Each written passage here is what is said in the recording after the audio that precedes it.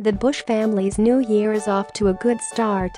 As the crew waited to count down and ring in the new year, the Bush clan sported bright 2019 glasses and a smiling photo.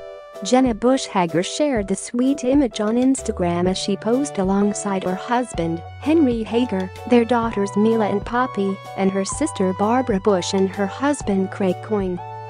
Former President George W. Bush and former First Lady Laura Bush even joined in on the fun. Happiest New Year, 2019 is going to be good. P.S. Does the countdown still count at 8ish? Bush Hager, 37, captioned the picture.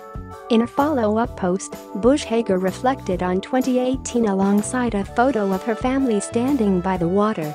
Watching the last sunset of 2018, Mila had us each throw a broken shell into the ocean to remember 2018 and make wishes for 2019, Bush Hager began.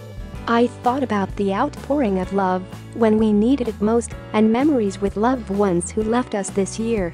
I loved Mila's game of gratitude and hope, so I made a resolution to be more childlike and joyful in 2019. Happiest New Year, P.S. Thanks so much to the nice lady who took this picture, kindness is everywhere. Last year was full of highs and lows for the famous family.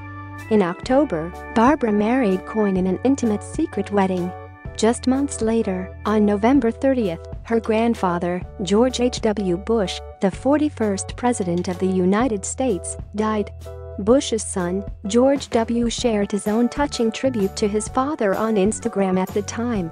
Jeb, Neil, Marvin, Doro, and I are saddened to announce that after 94 remarkable years, our dear dad has died. George H.W. Bush was a man of the highest character and the best dad a son or daughter could ask for. He wrote alongside a photo of his parents walking towards Marine One together. The death followed the April passing of George